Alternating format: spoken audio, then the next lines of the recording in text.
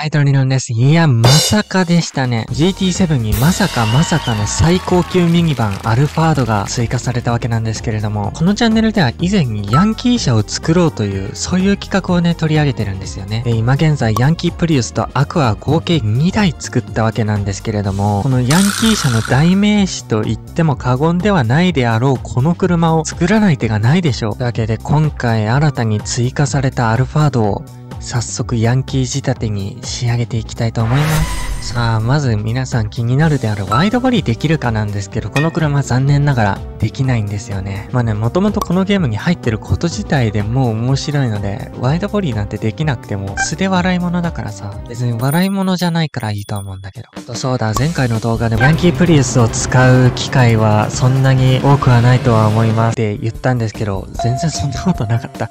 まだまだネタはあった。さあ、フロントの、えー、あ、なるほどね。こっちがいいかな。サイド、サイド、おー、結構自由度あるね。さあ、リア。え？下の？これ、つけられるんだ。あー、どうだろうね。こ、うーん、せっかくだったらもう B にし、いや、A にしとこうかな。さあ、ウィングが、えー、あ、カスタムパーツは選べないんだね。これと、タイプ A。なるほど。ほうほうほうほう。ほんとでけえな、お前。さあ、レーシングアイテム、ボンネットピン。うーん。これいらないかな。ゲインフック。ちょっとさすがにいらないかも。その他、ライトバブル。あー、なるほど。この黄色にしとこうかな。あー、なるほど。こういう感じのやつ。あー。あー、なるほどね。面白いかな。なんか脳内が刺激されそうな色してる。あんまり良くない感じ。えー、そしたらリバリーですね。おほほあ、あそこのさ、エンブレムのところもさ、色変わるんだね。いや、これ、えー、えー、えー、やばくない？これ。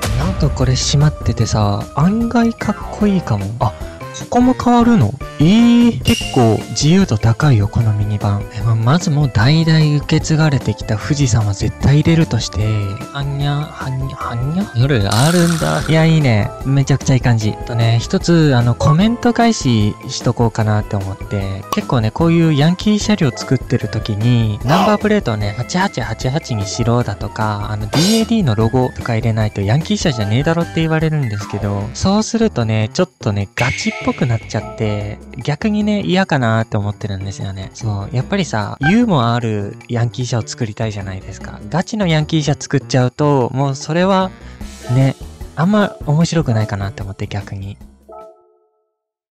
ね、皆さん、無事にヤンキーアルファード完成いたしました。じゃん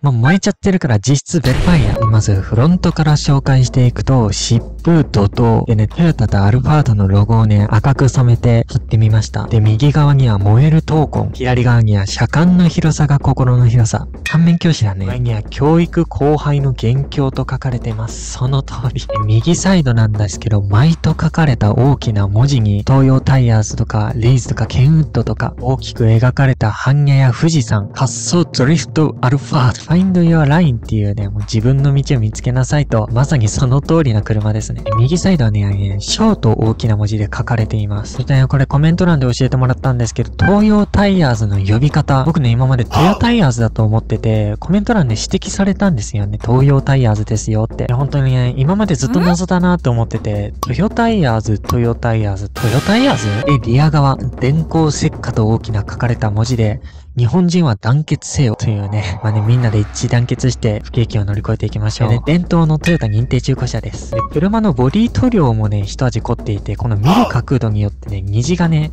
じわーっとできるようなそんな塗料で今回ボディを染めております。ちなみにここに KENWOOD って書かれてはいるんですけど、このね、リア側からカメラを起動して、ぐーっとズームしていけばね、中にね、すり抜けて見ることができるんですけど、ここのインパネ、JBL って書かれてます。ちなみにね、フルチューンしたら577馬力にまで上がりました。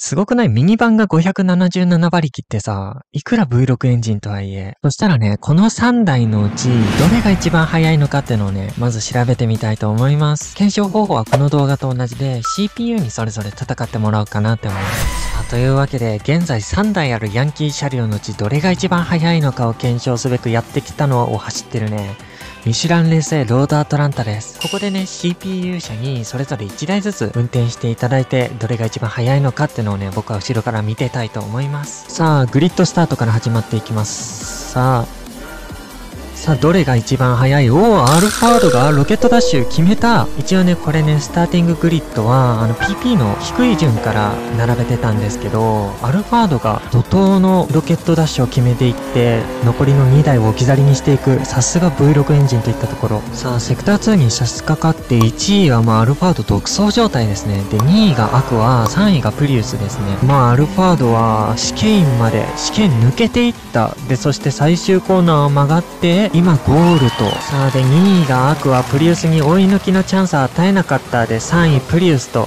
いう結果になりました。でもね、プリウスとアクアっていくらチューニングしてももともと速く走る車じゃないので、570馬力もあれば必然的にアルファードの勝ちになるってのは、ね、そんな今まで作ってきた車両の中で一番速かったアルファードくんなんですが、この車だったらどのくらいのクラス帯までさ、勝てるんだろうって思って、それもやっていきましょうか、今回は。じゃまず手始めに今回アップデートで追加されたこのジャパニーズ 4WD チャレンジ、これに行ってみましょうか。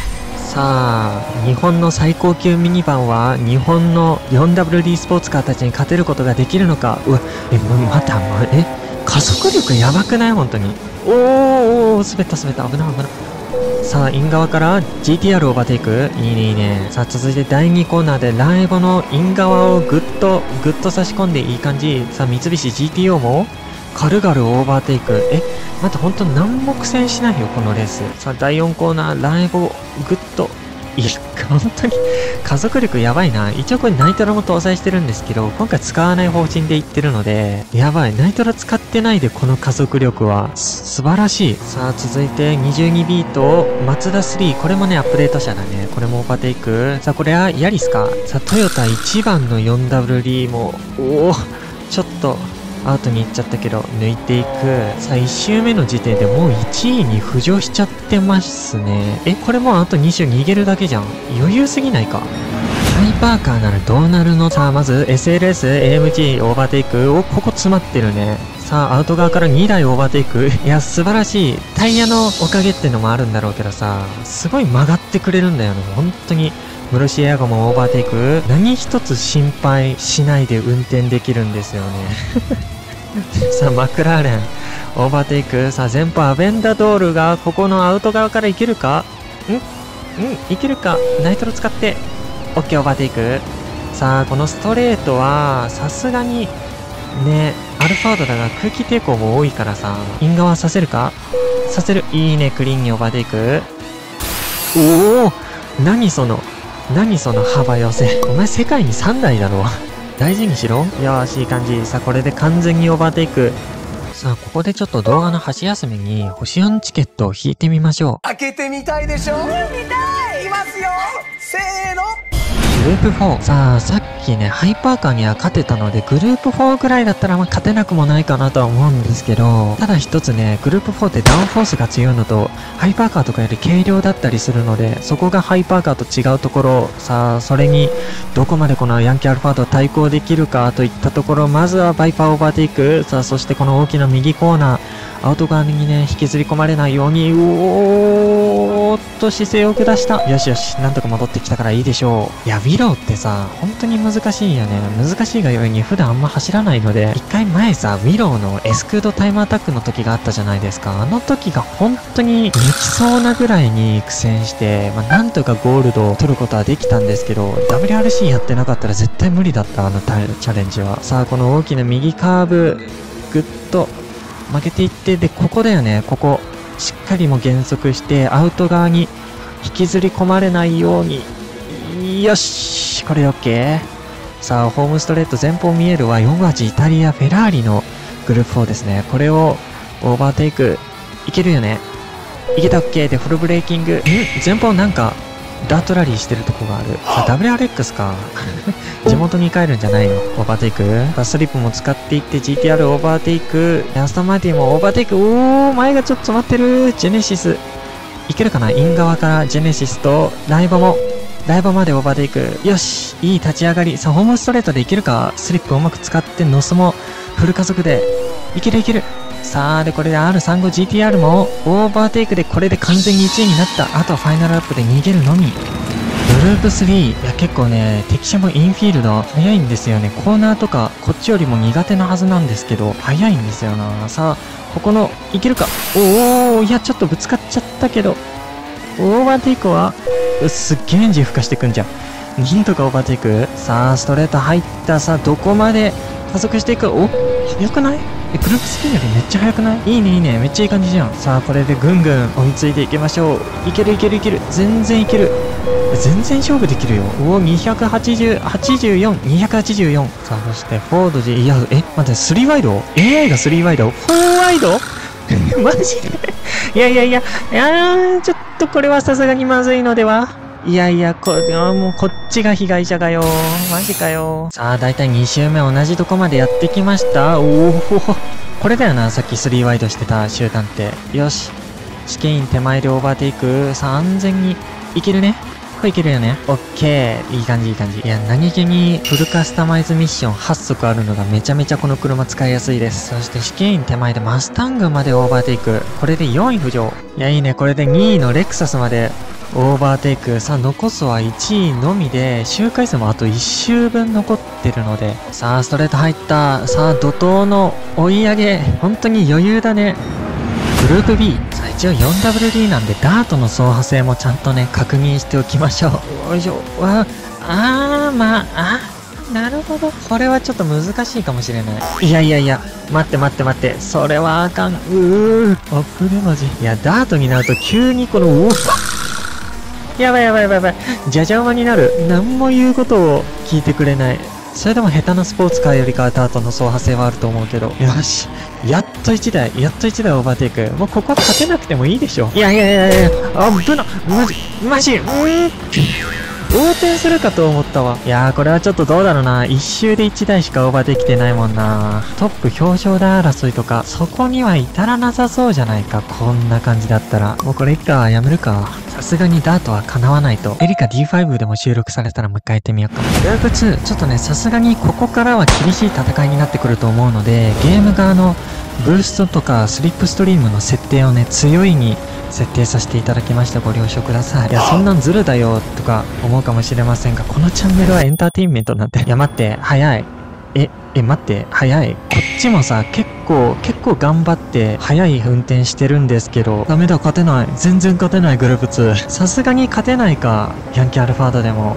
マジでいや、こっちだって普通に速いんだよ。270とかさ、ミニバンが出すスピードじゃないじゃん。グループ3までだったら勝てるので、多分ワールド GT シリーズとかも勝てると思うんですけど、まあね、多分こっちはね、某大桑の方とかやると思うので、そちらの動画を見ていただけたら、出たら概要欄にリンク貼っとこうかな。じゃあ最後に最高速チャレンジをしてみましょうか。320、30はいけるのかなまあ頑張れば40とかもいけそうな感じではありますね。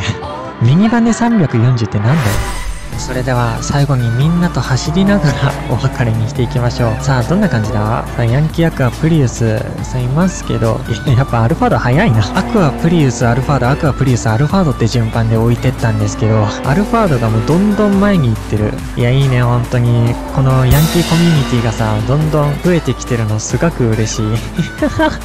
やばいやばいやばい、ぶつかっちゃう。いや、そしてまたこんな絶景のところをさ、もう環境破壊は気持ちいいぞいのごとく。で、またなんかね、企画思いついたら、その都度やっていきたいと思います。またトヨタで新しいヤンキー車っぽいのが追加されたりとかさ。じゃあ次回もぜひ見てね。